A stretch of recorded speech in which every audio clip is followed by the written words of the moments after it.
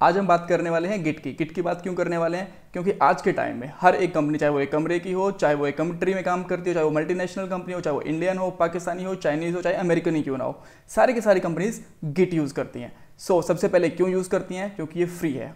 और फ्री है इसलिए मैं आपको भी बता रहा हूँ क्योंकि आप भी यूज़ कर सकते हो क्योंकि हम इंडियन को फ्री वाली चीज़ें बहुत पसंद आती हैं। और टेक्निकल चीज़ है तो हमें पता भी होना चाहिए।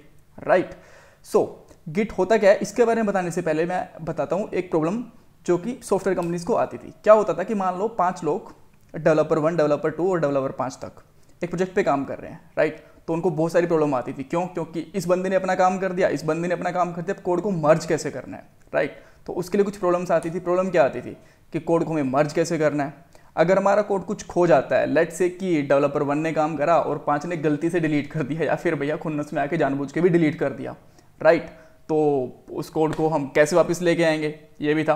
अब मान लो कोई एक डेवलपर काम भी कर रहा है, उसकी मशीन खराब हो गई, उसका कंप्यूटर खराब हो गया राइट तो वो कैसे लेके आएँगे?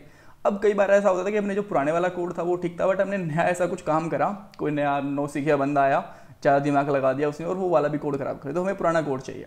तो वो हम कैसे लेके आएँगे? तो हमारे पास बहुत सी प्रॉब्लम थी राइट तो पाँचों डेवलपर ने सोचा, क्या करें? सो फिर एक आइडिया आया कि सोल्यूशन क्या है? सोल्यूशन है हमारे पास गेट अच्छा गेट क्या होता है? ये चीज़ तो मैं आपको बताऊँगा बट सोल्यूशन क्या क्या देता है? देखो गिट का यूज़ करना है, पहली बात तो कोई मुश्किल नहीं है जस्ट आपको गिट के साथ में एक दो फाइल्स ऐड करनी होती है और आपका गिट प्रोजेक्ट के अंदर इंस्टॉल हो जाता है। अब गिट क्या क्या देता है? अगर कोई डेवलपर गलत काम करता है, मान ली किसी का कोड उड़ा देता है, ऊपर नीचे कर देता है तो उसकी सारी सारी हिस्ट्री बन जाती है कि भैया इस लाइन नंबर पे इस डेवलपर ने इस दिन ये वाला काम करा था। राइट कभी खोएगा नहीं कोड आप कोई भी पुराना कोड चाहे वो अगर आपका प्रोजेक्ट 10 साल पुराना है और 10 साल से गिट यूज़ करें तो आप 10 साल पुराना कोड भी निकाल सकते हो। राइट शेयर करने के लिए बहुत इजी रहता है। पहले एक डेवलपर गिट के ऊपर अपना कोड पुश करेगा। सेकेंड डेवलपर कुछ पुश करने से पहले पहले वाला जो सर्वर पे कोड पड़ा है, उससे पुल लेगा। यानी कि उससे अपना कोड को डाउनलोड करेगा। डाउनलोड करके और बाद में अपना कोड वो अपलोड कर देगा। ठीक है? और गिट इतना स्मार्ट होता है ना कि अगर जब दो डेवलपर ने काम करा होता है उसमें कभी भी प्रॉब्लम नहीं आने देता। राइट अगर प्रॉब्लम आती है ना किसी एक लाइन एक लाइन एक जैसी सेम लाइन दो डेवलपर ने लिख दी तो वो उन दोनों डेवलपर को बता देगा, भैया, आपने यहाँ पे क्या करा है? दोनों डेवलपर साथ में बैठो और इसको रिजोल्व करो. राइट उनको कॉन्फ्लिक्ट कह देने वो कॉन्फ्लिक्ट आ जाता है।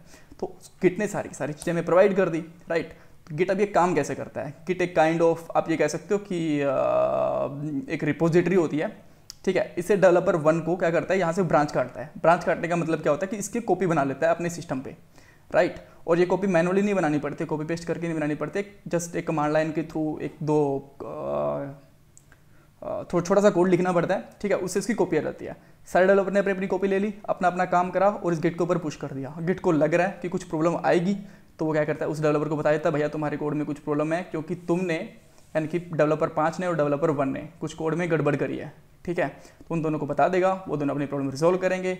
अगर वो प्रॉब्लम रिजोल्व नहीं करते हैं, बाद में डेवलपर किसी और को पता चलता है कि मेरा कोड वोड उड़ गया तो वहाँ पे लाइन नंबर देख के बता सकता है, भैया, इस डेवलपर ने वाली प्रॉब्लम कर दिया इसको रिजोल्व करो। राइट अगर मान लो फिर भी नहीं होती तो हम पुराना कोड उठा ही सकते हैं, क्योंकि सारा का सारा कोड गिट के ऊपर होता है। बस डेट और तारीख होती है, उसके ऊपर एक आईडी होती है। हर एक, जब भी डेवलपर कोई कोड डाउनलोड या अपलोड करता है ना तो उसके एक आईडी बन जाती है, उस आईडी वो सारी सारी मेंशन होती है, वहाँ पे उस आईडी के ऊपर जाओ कोड आपको मिल जाएगा टाइम के साथ भी सब कुछ मिल जाता है। राइट तो आप गिट को यूज़ कैसे कर सकते हैं? तीन इसकी मेजर वेबसाइट है, तीनों पे आप फ्रीली यूज़ कर सकते हो। देखो, जब आप एक बहुत बड़ा प्रोजेक्ट बनाते हो ना, तब आपको पैसे देने पड़ते हैं बट आप छोटे लेवल पे सीखने के लिए बनाते हो तो आपको, आपके लिए गिट फ्री है, तीनों जगह पे ऊपर, ठीक है? गिट हब पे भी यूज़ कर सकते हो गिट लैब पे भी और पिट बकेट पे भी।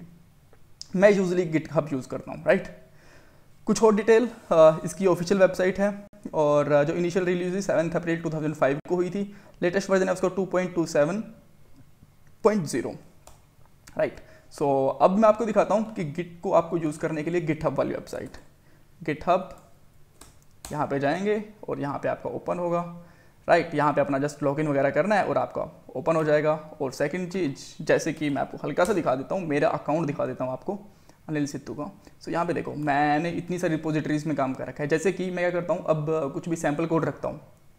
राइट तो मान लो मैं कुछ सीख रहा हूँ तो मैं यहीं पे अपलोड कर देता हूँ। और मान लो मेरा पीसी अगर ख़राब भी हो गया मैं ऑफ़िस में भी सीखता हूँ, घर पे भी सीखता हूँ, किसी और कंप्यूटर पे भी सीखता हूँ तो जस्ट मैं यहाँ से कोड पुल एंड पुश कर सकता हूँ। बहुत ईजी होता है राइट अब जैसे कि ये मैंने एक लाइब्रेरी बना रखी है, इसके ऊपर मैं जाऊँगा।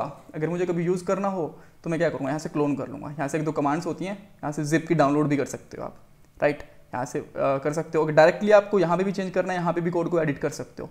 बहुत सारी होता है। अब ये एक चीज़ इसके अंदर और होती है। मान लो कि पाँच डेवलपर हैं अब ऐसे तो कुछ भी कोड पुश करते जाएँगे। ऐसे थोड़ी ना होता है। तो जो टीम लीड होता है उन सब का जो सबसे शाना बंदा होता है ना वहाँ पे सबसे एक्सपीरियंस वाला बंदा उसको मर्ज रिक्वेस्ट आती है। तो यहाँ पे जैसे कि आ, मैं एक न्यू पुल रिक्वेस्ट कर दूँगा। क्या कि मेरी ये वाली ब्रांच है और ये कर दो। जैसे कि आ, मेरे एक फ्रेंड ने निकफ्लिक्स ने, यहाँ पे एक मुझे दिया कि इंप्रूविंग प्लेस होल्डर यहाँ पे उसने थोड़ा सा कोड चेंज करके दिया है कहता भैया इसको अप्रूव कर दो।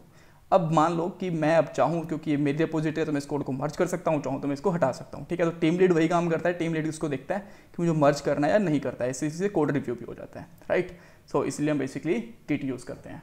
So thanks for watching this video channel को सब्सक्राइब करना मत भूलेगा, क्योंकि मैं आने वाली वीडियो में आपको बताने वाला हूँ जीरा क्या होता है, ठीक है? किचन वाला जीरा नहीं, जो जीरा धनिया यूज़ करते हैं सॉफ्टवेयर लाइन के अंदर यूज़ होता है जीरा, वो मैं आपको बताऊँगा। Right so thanks for watching this video bye bye take care